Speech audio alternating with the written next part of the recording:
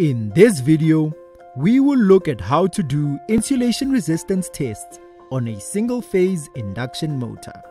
You may need to start by using a continuity test to identify the different motor components, namely the start and run windings, the centrifugal switch, and the capacitor. Before you start, make a quick sketch of the layout of the posts in the terminal box so that you can record your results. Make sure you have a working multimeter set to the ohm setting. Remember to short your leads before you start to make sure your multimeter is correctly calibrated. Test the resistance between each of the posts. Between posts 1 and 2, we get a reading of 15.1 ohms. Note this on your sketch. Between posts 3 and 4, we get 4.7 ohms. We get open circuits between 5 and 6, 5 and 7, 5 and 8, 6 and 7, and 6 and 8. Between posts 7 and 8, the reading is 0.1 ohms. We now know that the start winding is connected between posts 1 and 2. The start winding always has the highest resistance. The run winding is connected between posts 3 and 4. The centrifugal switch is connected between posts 7 and 8. The centrifugal switch always has the lowest resistance, close to zero.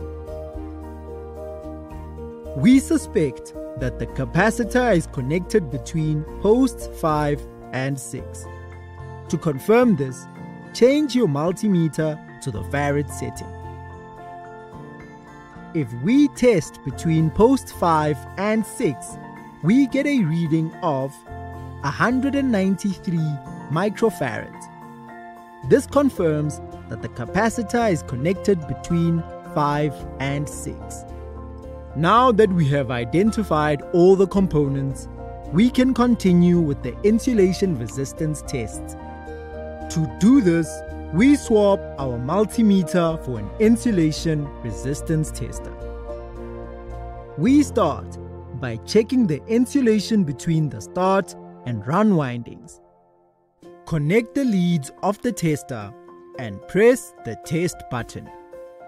Regulations dictate that the reading must be greater than 1 meg ohm to be acceptable.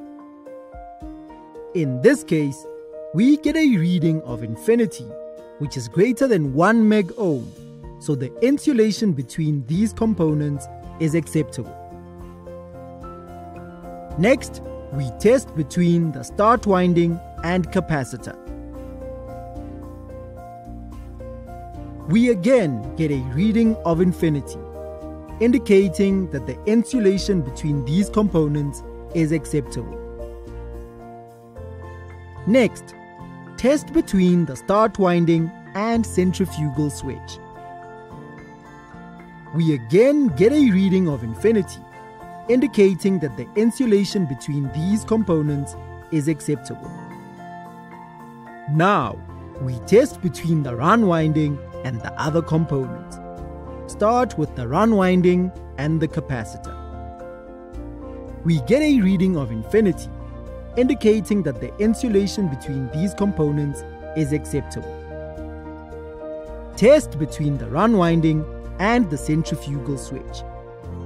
We get a reading of infinity, indicating that the insulation between these components is acceptable. Finally, we can test between the capacitor and the centrifugal switch. We get a reading of infinity, indicating that the insulation between these components is acceptable. Next, we need to test the insulation between each component and earth to make sure that there are no short circuits with the motor frame. Here, we are testing between the start winding and earth. We get a reading of infinity, indicating that the insulation between these components is acceptable. We do the same test between each of the other components and Earth, making sure that the reading we get each time is greater than 1 meg ohm.